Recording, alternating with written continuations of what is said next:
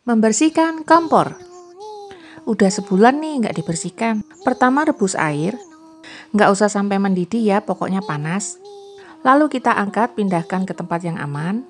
Tambahkan sabun pencuci piring. Dan ini opsional ya, boleh pakai boleh enggak. Ini baking soda. Lihat ini komporku kotor sekali. Lalu kita masukkan yang namanya tatakan ini ke dalam cairan tadi ya.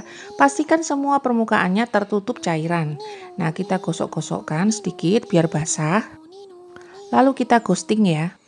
Siapkan sabun besi dan juga sabun pencuci piring. Kita gosokkan ke kompor yang masih panas. Hati-hati ya, bagian tengahnya jangan disentuh. Kecuali teman-teman punya ilmu kanuragan. Jadi kuncinya itu masih panas kita gosok. Nah, itu yang namanya kotorannya akan melunak saat terkena air sabun dan juga sabut besi. Kita gosok terus sampai lelah. Kalau ada yang masih bandel, kita panaskan lagi piringannya, lalu beri air sabun di sekitarnya, kita gosok lagi. Jika sudah selesai, kita siapkan cairan pembersih dapur seperti ini kita semprot-semprot biar wangi, bersih, bebas dari minyak. Nah, seperti ini. Cling. Pasang lagi tatakannya. Pastikan kering ya. Seperti ini. Lihat nih sebelum dan sesudah. Oke, sampai ketemu lagi. Bye-bye.